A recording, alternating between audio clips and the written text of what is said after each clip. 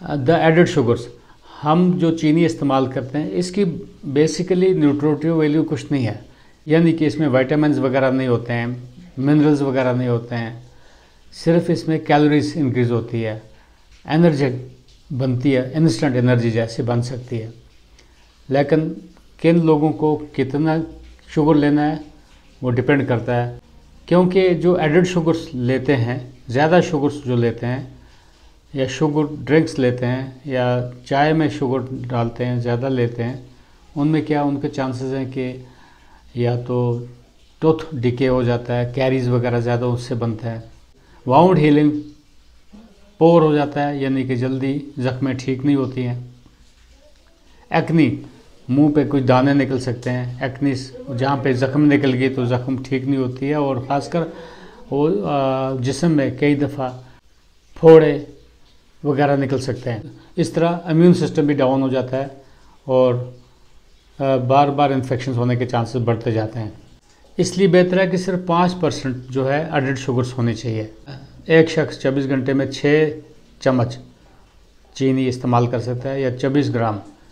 One T S F is equal to four gram. So आप calculate कर सकते हैं, चौबीस ग्राम एक दिन में शुगर हम लोग लेते हैं एडिड शुगर्स जो लोग शुगर्स नहीं लेंगे उनके तो और ज़्यादा बेनिफिट्स हैं।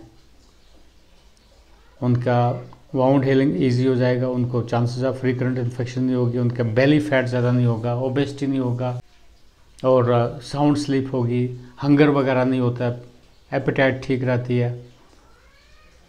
शुगर एक क्रेविंग है उसमें जितना शुगर वाली चीज़ें लेंगे इतना उसके बाद रिफ्लेक्सली उसमें डिहाइड्रेशन ज़्यादा होती है।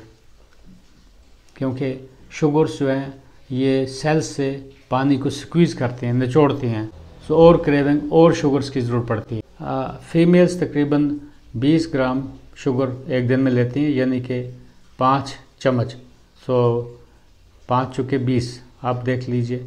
इस तरीके से जो बच्चे हैं, तकरीबन चार चम्मच चौबीस घंटे में शुगर ले लेते हैं। तो इनको, इन चीज़ों को थोड़ा चेक करना चाहिए। अब अगर हम कैलकुलेट करेंगे। अगर एक शख्स 24 घंटे में 24 ग्राम चीनी लेता है तो आप देखिए एक महीने में 720 ग्राम्स होते हैं। और इस तरीके से अगर एक साल में कैलकुलेट करेंगे 720 सौ बीस into twelve is equal to eight thousand six hundred forty grams. तकरीबन साढ़े आठ किलो से ज़्यादा चीनी हम एक साल में इस्तेमाल करते हैं। कुछ लोगों को मालूम ही नहीं होता है कि वो ज़्यादा चीनी इस्तेमाल करते हैं। इसलिए मेरा ये फोकस या डिस्कस करने का मकसद यही है कि कम चीनी लेने से आपका इम्यूनिटी स्ट्रांग रहेगा। अगर चीनी ना भी ली जाए, कई लोग तो क्विट कर लेते हैं एवन आर्टिफिशियल स्वीटनर्स भी नहीं लेते हैं, अपनी हेल्थ को मेंटेन करने के लिए ओबेसिटी को ओवरकम करने के लिए टूथ डिकेस को साउंड स्लीप के लिए क्रेविंग फॉर शुगर्स कम करने के लिए, और डिहाइड्रेशन को ओवरकम करने के लिए। आप ट्राई कर दो, देख लो कि शुगर ना लेना एक अच्छी चीज़ है। तो नॉट ओनली क्या डायरेक्ट शुगर से डायबिटीज़ होगा यस डायबिटिक्स को कैलोरीज कॉन्शियस होना है, उनको शुगर वाली चीज़ें कम लेनी।